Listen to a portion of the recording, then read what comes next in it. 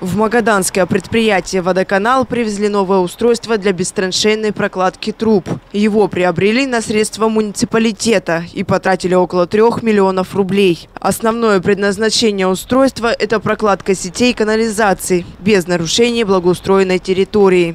Да, сегодня мы, в принципе, впервые попробовали эту технологию на Приморской 1 на Приморской 1, как раз там двор э, в арке заасфальтированный был, мы прошли первые там 15 метров, ну это начало. Раньше специалисты водоканала могли провести замену труб только в летний-осенний период, но теперь работы будут вести круглый год. В планах предприятия менять около одного километра всех сетей в год с помощью нового устройства.